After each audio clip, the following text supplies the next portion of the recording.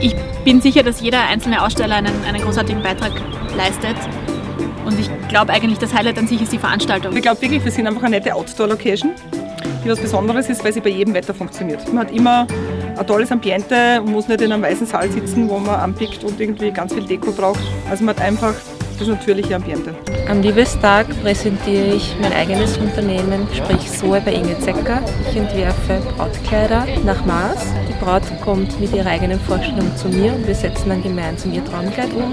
Oder sie kann auch aus der Kollektion meiner Kleider wählen und sich für den schönsten Tag im Leben beraten lassen. Ich repräsentiere Headpieces und ähm, Brautsträuße, also Brooch Bouquets. Das ist in Österreich noch eher neu. Das sind Sträuße aus ungewöhnlichen Materialien wie Broschen, Knöpfen, Pompons, Buttons, alles was einem so einfällt. Auch beim Liebestag geht es sehr stark um das Detail.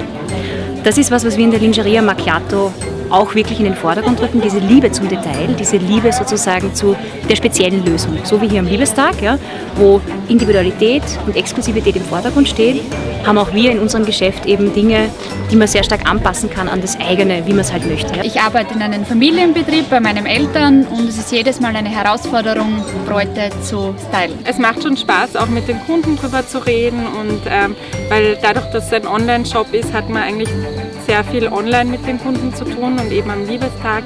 Das gibt einem die Möglichkeit, so direkt mit den Kunden zu, zu reden über ihre Hochzeit, was sie planen. Die Brautpaare, äh, die hierher kommen, sind qualitätsbewusst. Ich bin der Cake Shop mhm. ähm, und mein Name ist Christine Schlert.